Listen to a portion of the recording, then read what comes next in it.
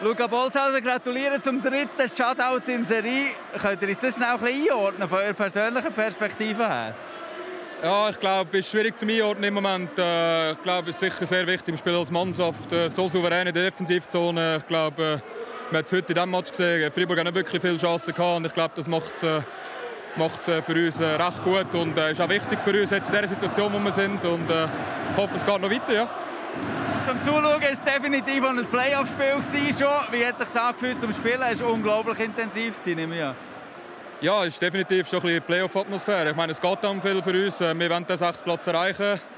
Die Stimmung heute ist äh, wunderbar gewesen. Ich glaube, es war schon lange nicht mehr so voll hier und so laut und äh, das macht es äh, richtig schön, ja.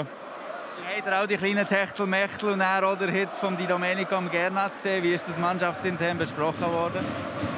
Ja, nicht gross. Wir haben einfach gesagt, wir spielen unser Spiel durch, wir machen unsere Checks, äh, wenn sie sich provozi äh, provozieren lassen oder irgendetwas. Wir machen nichts, wir lassen sie spielen, sie sollen auf die Strafbank gucken. Ja.